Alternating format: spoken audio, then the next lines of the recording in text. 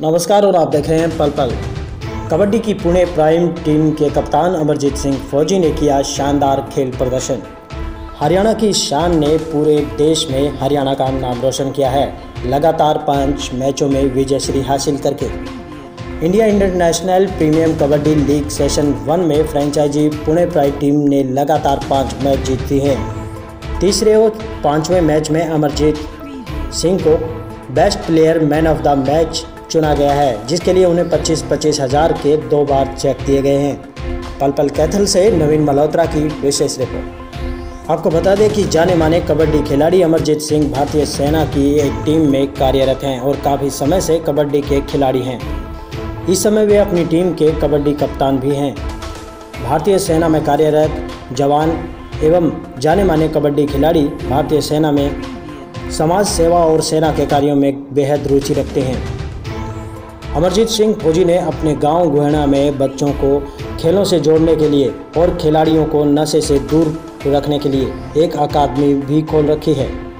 जब भी अमरजीत सिंह ड्यूटी पर गाँव आता है तो वह सुबह शाम युवाओं और युवतियों को शारीरिक व्यायाम भी करवाता है और इस खेल में अकादमी में युवकों और युवतियों को निःशुल्क ट्रेनिंग भी देता है। यहाँ तक कि उन्हें व्यायाम के पश्चात रेफ्रेशमेंट जैसी सुविधाएँ भी स्वयं देता है। कबड्डी खिलाड़ी अमरजीत सिंह फौजी की एक और खेल अकादमी फ्री चलती है।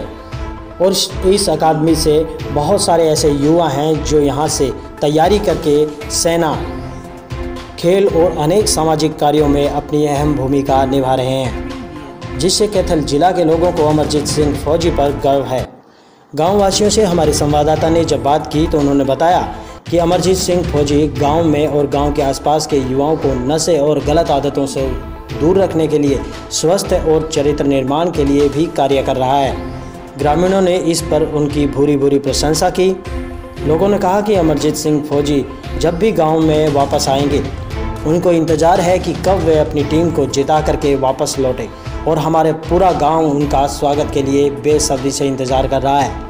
इतना ही नहीं, आसपास के ग्रामीणों ने भी बताया कि वे उन्हें सम्मानित करने के लिए बेताब हैं। ग्रामीणों ने सरकार से मांग की है कि ऐसे जवाज सैनिक और खिलाड़ी तथा समाज सेवी अमरजीत सिंह को राष्ट्रीय अवार्ड से नवाजा जाए, ताकि अमरजीत सिंह फौजी जैसे और उन्हें देख करके अन्य लोगों को शिक्षा और सीख मिले, ताकि देश के साथ साथ वे समाज की सेवा में भी अहम भूमिका निभा सकें।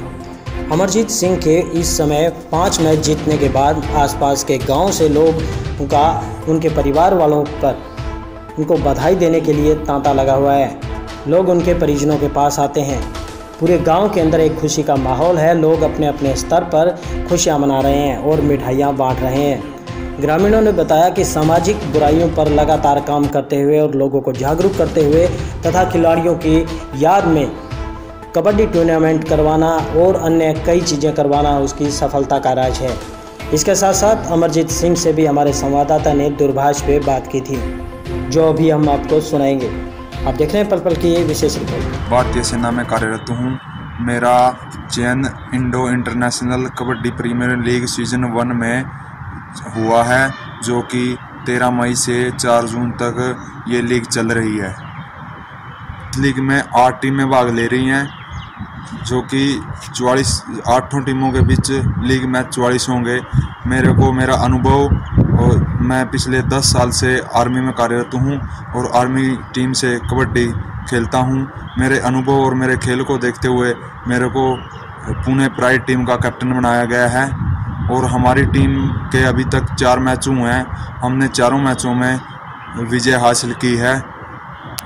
इस लीग में सिलेक्शन होने के कारण मेरे गाँव और पूरे इलाके कैथल ज़िले में बहुत ही खुशी का माहौल है, जिससे मुझे गाँव में जाता हूँ तो युवाओं को ज़्यादा से ज़्यादा खेलों के लिए प्रेरित करता हूँ। सुबह शाम खेल की प्रैक्टिस या सेना के लिए तैयारी, पुलिस के लिए तैयारी, सौ से डेढ़ सौ बच्चे प्रैक्टिस करने के लिए आते हैं और गाँव में नशे के खिलाफ और सामाजिक बुराइयों को दूर करने के लिए निरंतर प्रयोग सात आठ साल से प्रोग्राम करवा रहा हूँ, जिससे काफ़ी हद तक सफलता मिली है।